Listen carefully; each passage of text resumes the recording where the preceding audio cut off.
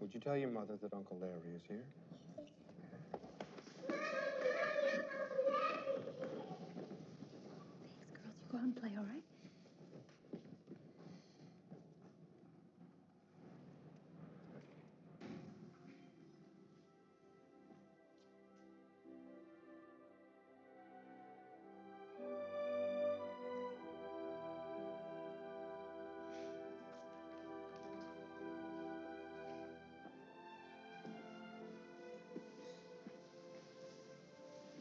Hoping you might stop by.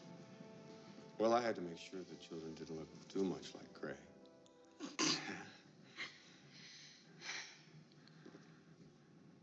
Where is he?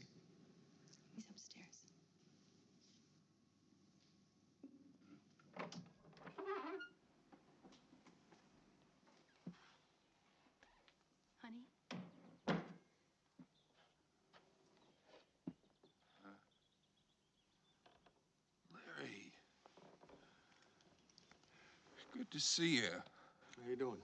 I was downstairs this morning. Wish you'd caught me then. I Got another one of my damn headaches. Sometimes they're so bad I, I feel like I'm gonna die. Sometimes I wish I was dead. Gray, sometimes all of us wish you were dead. what are you doing here? Well, I thought This I is guy talk. You want to talk about girls? We don't want you around. Bye. Bye. So how are you doing? Not bad for me. You haven't tried aspirin for these headaches, have you? Hmm, yeah. I've got something that might work. Here.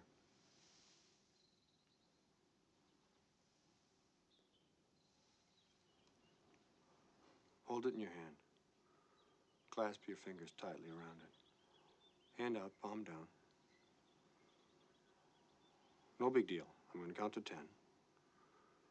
And before I get to ten, you're going to drop the coin.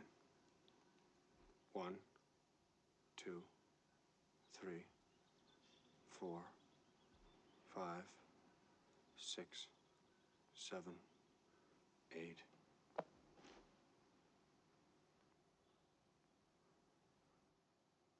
You do that? I didn't do it. You did it. Here's what you're going to do next. Hold the coin in your hand again. Gently this time. Let your hand rest on your lap. Lie back. Relax. Relax your whole body. Your eyelids are going to get heavy. They're going to close. You're going to sleep for three minutes. And when you wake up, your headache will be gone.